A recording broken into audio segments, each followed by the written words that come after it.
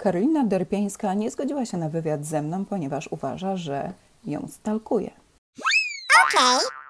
Taki komentarz od Karoliny dostałam na TikToku OKTV, czyli mojego skromnego kanału, który ma ledwo ponad 60 tysięcy obserwujących i jestem bardzo wdzięczna Ci, Karolino, że w ogóle mając ponad 6 milionów followersów na Instagramie byłaś w stanie zobaczyć mojego TikToka i mi jeszcze na niego odpowiedzieć. Naprawdę słowa uznania, ponieważ ja przy tych kilkudziesięciu tysiącach ledwo wyrabiam, żeby odpowiadać na wiadomości prywatne.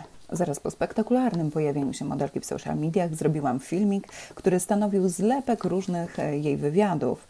Cytowałam tylko i wyłącznie jej słowa. Nie mam talentu, jestem ładna i mam pieniądze. Caroline twierdzi, że jest niezależną finansowo kobietą, niemniej wiadomo o tym, że jej narzeczony to o trzy dekady starszy milioner.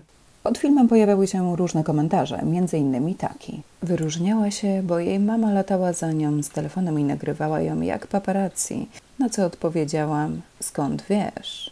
I dostałam informację zwrotną, Białystok jest mały.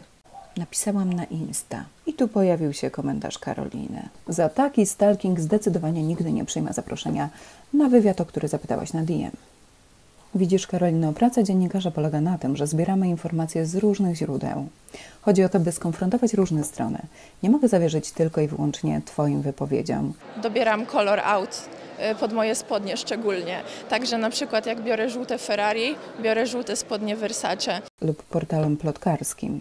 Chodzi o to, by dotrzeć do źródła, zapytać jak najwięcej osób, skonfrontować te informacje oczywiście z osobą zainteresowaną.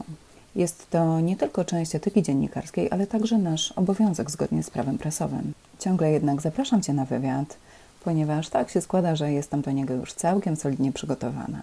Stalking, o którym wspomniałaś, jest zjawiskiem bardzo niebezpiecznym i jestem od niego daleka. Prowadzę kanał rozrywkowy, a któż w ostatnich dniach zapewnił nam tyle rozrywki, jak nie właśnie Ty, Karolino. Pozdrawiam serdecznie. Jaka według Ciebie powinna być kobieta stylowa? E, ubrana w najdroższe ubrania. Okej.